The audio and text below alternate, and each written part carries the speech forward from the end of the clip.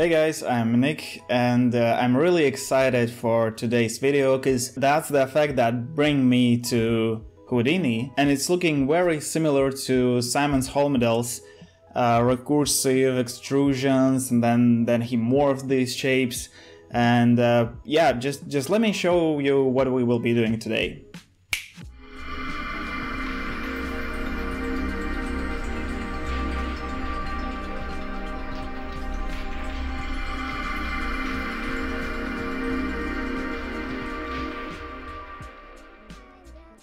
And Simon Holmedal and uh, Man Machine in general brought me to procedural design and, and more of the abstract um, design. And uh, let me know in the comments uh, what artist inspired you to learn Houdini and maybe inspired you to learn more about particular style of design. So this effect and basically the the algorithm, the VEX code that is used in this project I found it on odforce forums and it's written by the uh, guy whose username is Step by Step VFX. So this is more of a explanation and, and the breakdown. And uh, I'm not a Houdini expert, and there's this part of VEX that, to be honest, I don't fully understand how it's made but uh, the result is so beautiful I just want to share it with you so you can achieve something similar. And if you will be creating your animation or still render based on this tutorial please send me what you come up with. And next Thursday where it will be next tutorial I will show these works here. And uh, also on all of my social medias I will talk about them maybe give you some feedback. I will be really interested to see what you guys will create with the technique you learned today. So let's open up Houdini and take a look at this project file. To start with, just drop your regular GeoNode and uh, dive into it and I will open up these nodes. So uh, don't be afraid, the algorithm behind this, uh, this effect is not that complex um, there's just uh, one part with the VEX, but let's just uh, walk. I would I would like yeah to walk you through this project and explain what all of these nodes actually do. So we started with a platonic. Um, this platonic is a solid type set to icosahedron, orientation to z-axis, radius set to 5. You can set like whatever radius, it, it doesn't matter. Um, yeah, after that we add a subdivide node and it's set to Houdini Catmull Clark. After that we do a UV unwrap and uh, here basically we, we just UV unwrap that stuff. And now the fun part begins. So this for each loop is just your regular for each uh, number loop. So just drop that and uh, Method should be set to fetch piece or point, and the input from your for each begin should be connected to the metadata block and the method of that block should be fetch metadata. And uh, block path is pointing to your end block which is set to merge each iteration and merge each primitives. So piece elements are set to primitives. So that's your outer block. And then you need to add, um, I think it's your regular for, for loop with feedback. So uh, it will be, uh, yeah, basically a repeat. So you are connecting your first begin block of your for each loop to the input or begin block of your repeat loop. And then you add a poly extrude and uh, then you connect that poly extrude to the end block. So in poly extrude, we need to divide it into individual elements and the distance is this formula uh, you can experiment with this 0.6 value, but essentially just use this one, right? Also, you will need to uncheck use command limit, um, add vertex, spline control, just set it to here in the thickness ramp, just set it to be like lowering, like downhill, I don't know. Um, I think the values is one and for the like for first point and for the second the ending point the value is 0.2 and interpolation set to Catmull ROM.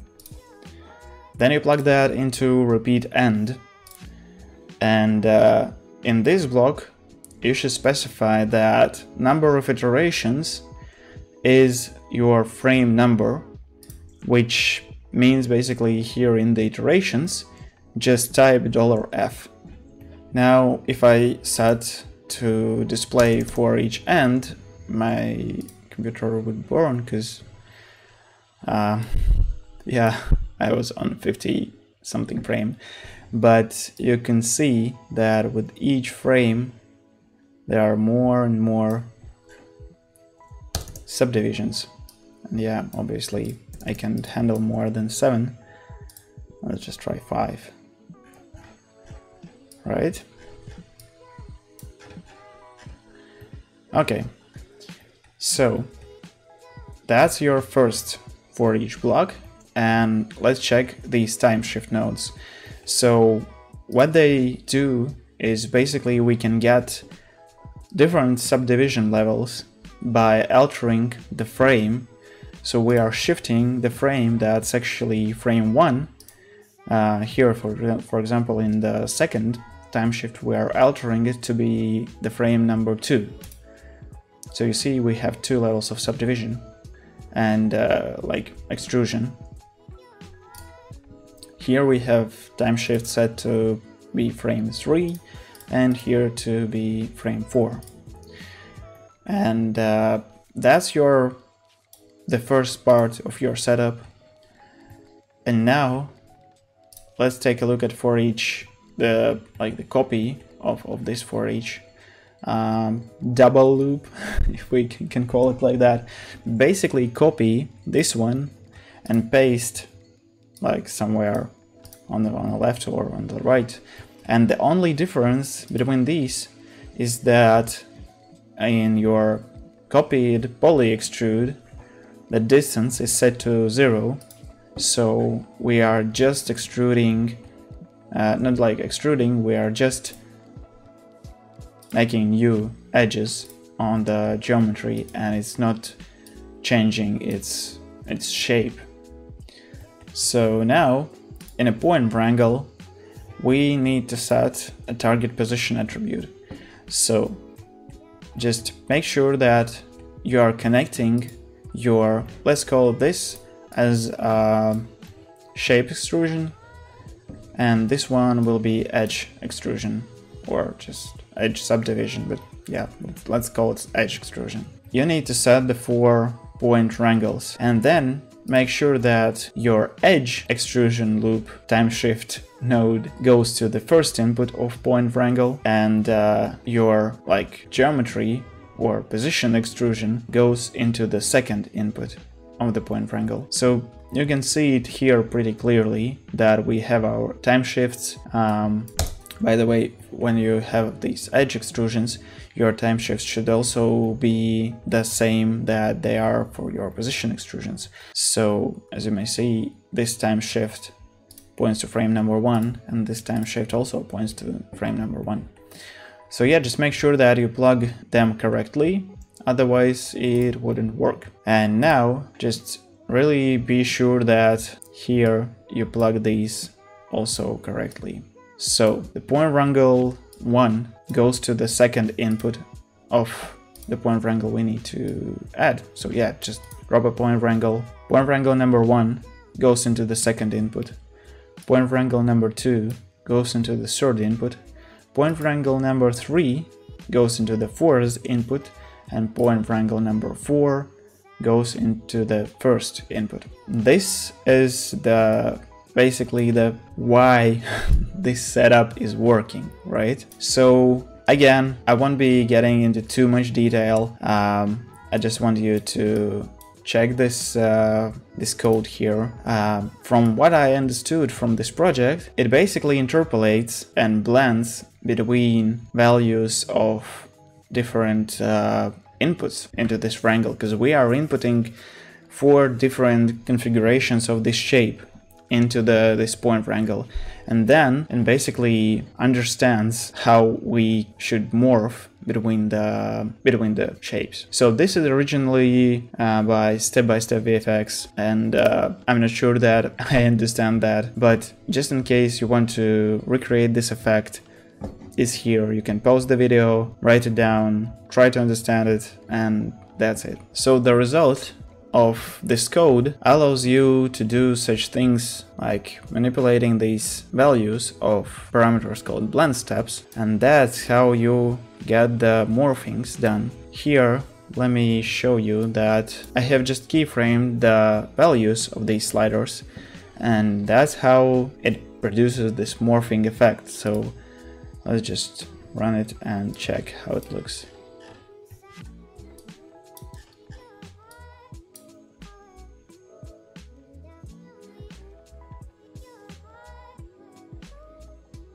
It's pretty beautiful. So now I, you, basically you can export um, this as an Alembic and uh, render out this mesh.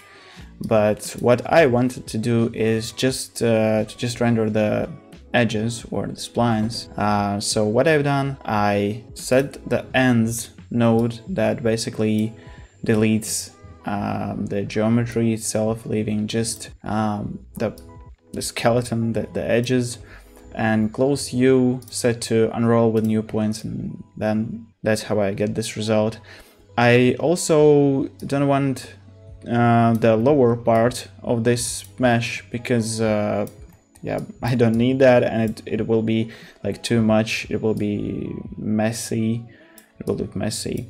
So I set a group um, this group is the bounding box targeting only things that are lower than 0 on y-axis. Then I deleted the points of that group, um, added normal, but yeah, basically we don't need normals for, for this element. You just need normals. Let me add them to here you need your normals. That's without your normals, that's with normals. So when you, if you want to export it, just yeah make sure that normals aren't turned on here.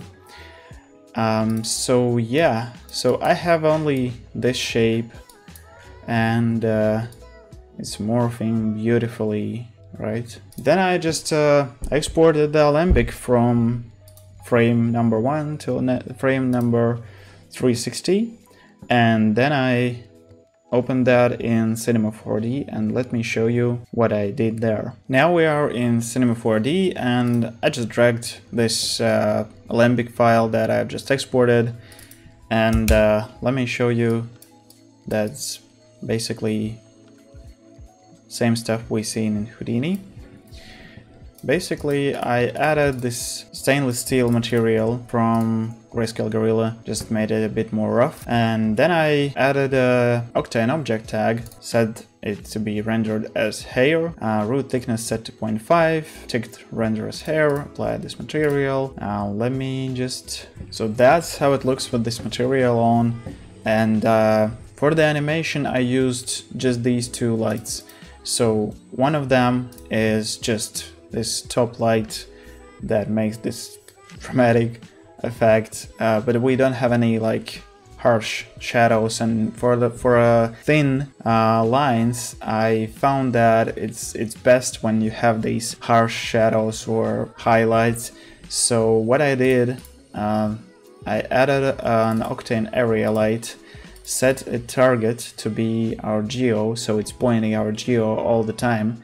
And then I also added Align to Spline tag and um, I added a circle around our geo and the light I animated it to be rotating around and then we have these harsh highlights here and it really adds the, the depth I don't know but yeah anyways I like this effect And for the camera settings, um, there is a depth of field.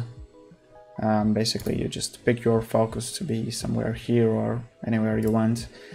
And then in camera imager, I set the exposure to be 2.7, highlight compression a little bit, gamma, lowered the gamma, um, added some LUTs, saturation, uh, and of course a bit of bloom because you know when when it's th there is some sort of like I don't know space space stuff effect when you add so much bloom. But uh, yeah just a little bit it's always good.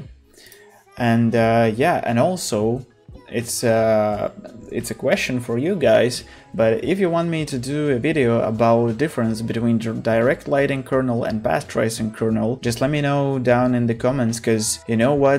Right now if I would be rendering this at half res it would be like 30 seconds right and I'm rendering direct lighting max samples 1000 GI none because we don't need global illumination here but if I would be rendering this with a path tracing kernel, I'm pretty sure it would take me much longer to render. And recently I was rendering with direct lighting on one of my client projects, and uh, you know what?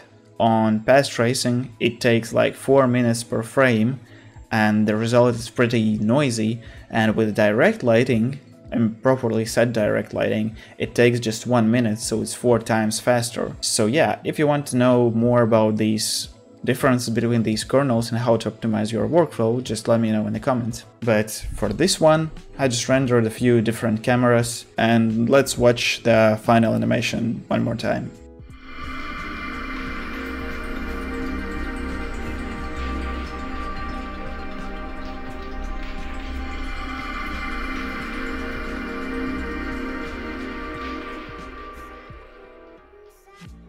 Alright guys, that's all for today. Thank you so much for watching this breakdown. I hope that it was helpful to you and even if there was a part of VEX, it wasn't too scary and uh, yeah.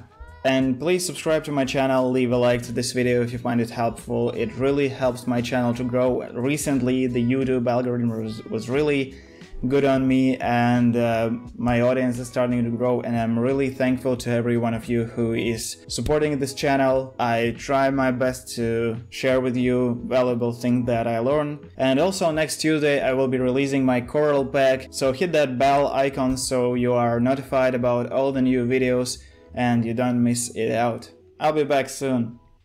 Bye.